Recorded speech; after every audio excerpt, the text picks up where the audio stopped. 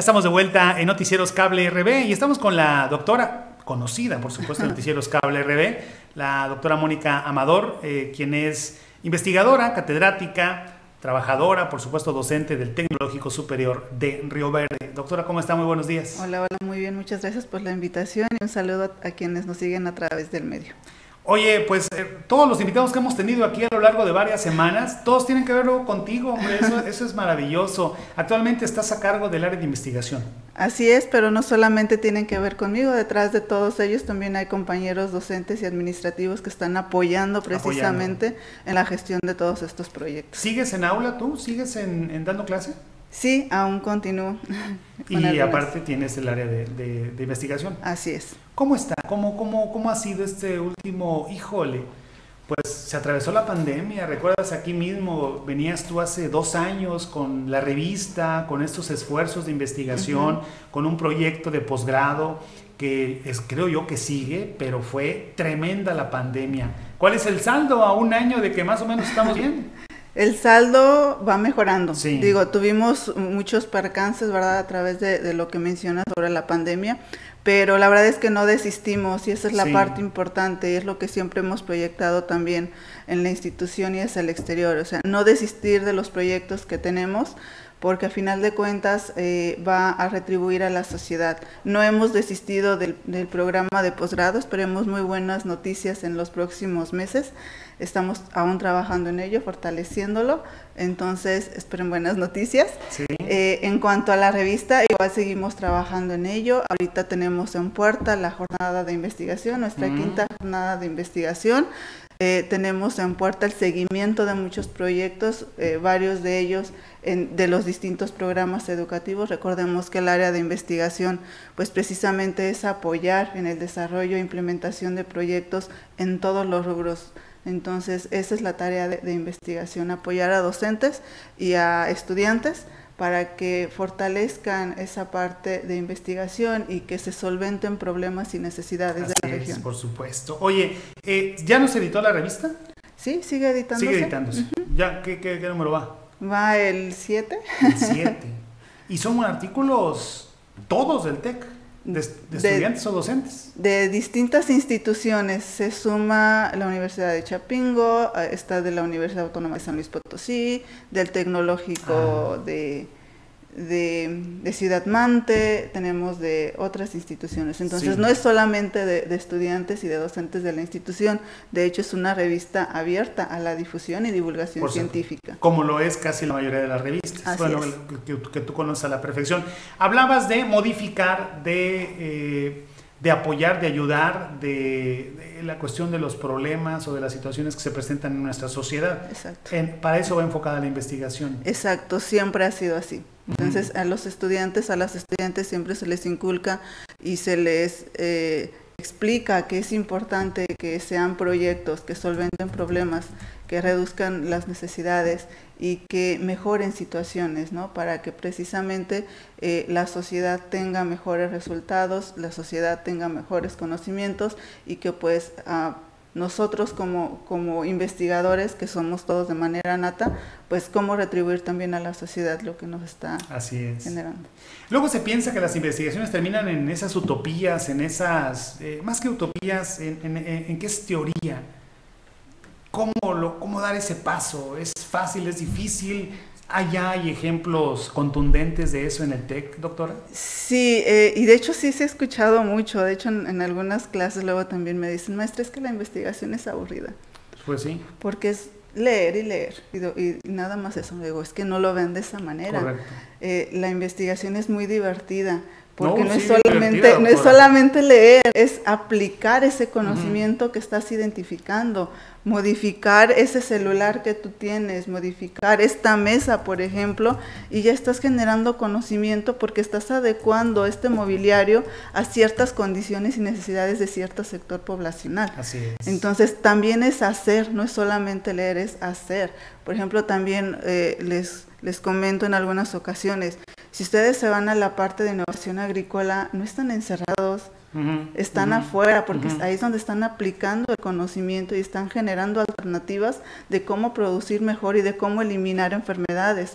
eh, no lo vean casado de, que solamente leer, porque al final de cuentas, si estás generando en la parte de sistemas de informática un, invernadero automatizado, pues tienes que convivir, tienes que ir a ese invernadero para ver cómo funciona y cómo puedes tú llegar a automatizar por medio de sensores o de, o de algún otro elemento para que mejores las condiciones y que los productos sean óptimos y que las enfermedades en las plantas se reduzcan, por ejemplo una interesante óptica, ¿eh? la verdad es que bueno, y aparte lo dices tú emocionada, vaya, se, te ve la, emoción. No todos lo entienden, no todos los jóvenes lo entienden, quizá todos tienen que estudiarlo, pero no todos lo ven desde esa óptica. Exacto, y, y esa es la parte compleja, pero no limitativa. Exacto. Porque es apoyar y guiar a esos estudiantes para que conozcan realmente el aplicar ese conocimiento y cómo ellos pueden desencadenar esta información y mejorar sus prácticas y habilidades. Por supuesto. Y bueno, obviamente, pues como en todo, en esta hasta en, la naturaleza lo hay, la llamada selección natural, en todo hay estudiantes que sobresalen encima de otros. Eso nunca va a cambiar, desafortunadamente, ¿no? Exacto, pero afortunadamente, no sé. Eh, exacto, es, buscar también con ellos ese equilibrio para que crezcan. O sea, no solamente los que están desarrollándose mejor, no, es buscar y generar esas condiciones para que todos y todas a la par crezcan. Así es. Todos volteamos, oye, que el dragón amarillo, a ver qué está haciendo el TEC, qué está haciendo la universidad, que el asunto de la, de la contaminación, qué está haciendo el TEC, que el agua potable, qué está haciendo el TEC o la universidad, pues ahí está, hay esfuerzos todos los días, yo no sé si a todas horas, porque la verdad es que luego de repente se ocupan todo el tiempo, que están ocupándose de, las, de lo que nos preocupa en, esta, en este entorno. Sí, estamos preocupados y ocupados sobre todo precisamente para desarrollar esas soluciones para enfermedades en plaga, para seguridad vial, para seguridad de vigilancia, para precisamente lo que vimos la semana anterior en el tecnológico. También en la parte ambiental hay que ocuparnos. Así es. Y precisamente la semana de ecología a través del proyecto eh, de basura cero que traen estudiantes del instituto, pues también es hacer esa generalización y conciencia y, crecimiento de cultura para que nosotros identifiquemos cómo actuar y cómo manejar los residuos sólidos urbanos, que generalmente lo conocemos como la basura, pero pues generalmente el nombre formal es Y, también entender que tenemos aliados, eh, tenemos aliados institucionales, tanto internos como externos. En el caso del instituto, pues tenemos aliados a Dirección General, saludo al arquitecto Marco Polo Padrón Ordaz, a, los docentes que nos apoyan, que apoyan a estudiantes a que encaminen esas ideas, a los administrativos que apoyan precisamente para que ese recurso que necesiten, lo más que se pueda, pues apoyarles también. Este, está la parte de, la, parte académica, también esas gestiones con los docentes y con otras áreas que son muy necesarias para llevar a cabo eso pero también bien es cierto que necesitamos aliados externos. Las empresas, las instituciones que nos ayudan gubernamentales, también es importante eh, ese, pues, eh, esa unión entre, entre instituciones, porque si mm, caminamos de la mano solos, pues va a ser complejo y complicado. Por supuesto. Y agradecer también, por ejemplo, las instituciones que vinieron la semana pasada de, de Semarnat, de CONAFOR, de Instituto de Ecología y Cambio Climático, la verdad es que todos esos aliados ayudan a todos los programas educativos, a la sociedad en general, y es ese llamado también a que conozcan lo que estamos haciendo en el instituto, a que conozcan que nuestras y nuestros estudiantes están participando en la generación de conocimiento y en la generación de estrategias y soluciones para resolver los distintos problemas que nos aquejan. Así es, por supuesto. Me quedo pensando eh, la gente que luego, no sé, se la pasa en el celular, sin hacer nada, viendo memes y viendo ahí historias, cuando otros están totalmente ocupados en, el conocimiento en la creación de conocimiento. Exacto. No fue pedrada, ¿eh? los compañeros que están aquí en, el estudio. ¿Qué están haciendo los maestros? ¿Cómo se están preparando? Eh, y la segunda pregunta es, si no hubiera habido pandemia, ¿ya tuviera el TEC un posgrado? Doctora. Ok. ¿Cómo nos estamos preparando? Primera pregunta. Y digo nos porque siempre hay que estar pues actualizados. Eh, hemos, eh, hemos estado trabajando en cursos de actualización, en cursos de profesionalización, hemos estado trabajando en diplomados que ofrece Tecnológico Nacional de México y que ofrecen otras casas certificadoras. Estamos trabajando también en, generar o en estudiar más bien maestrías y posgrados, que precisamente así se va encaminada la, la siguiente pregunta que hacías. Este, yo creo que sí. Eh, y digo yo creo porque a final de cuentas pues eh, es una serie de circunstancias que nos aquejan, ¿no? Y posiblemente sí tendríamos posgrado si no se hubiera presentado la pandemia.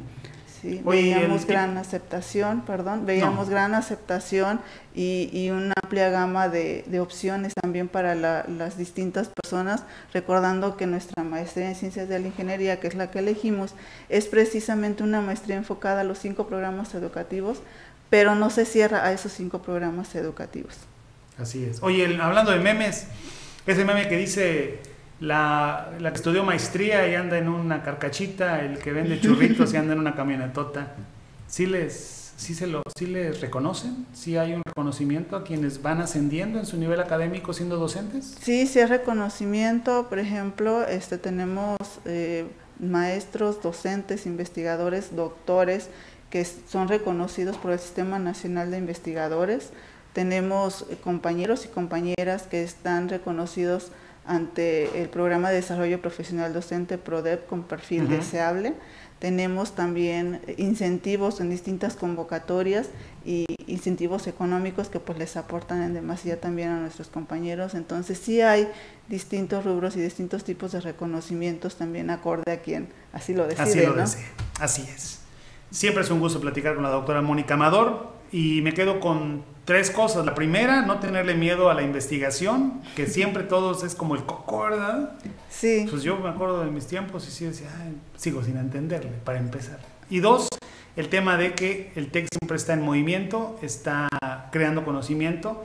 Y tres, preocupado en los problemas de su entorno. Doctora, muchísimas gracias. No, pues muchísimas gracias a ustedes y por siempre estar invitándonos para, para que el público, para que la gente y la sociedad conozca realmente lo que se está haciendo, lo que se está trabajando y que realmente conozcan a nuestras y nuestros estudiantes que son los que están eh, realizando esos proyectos y que sin duda alguna, sin ellos y sin ellas, pues el conocimiento no sería lo que es. Así es, con el empuje y la juventud de ellos. Gracias, doctora, muy amable.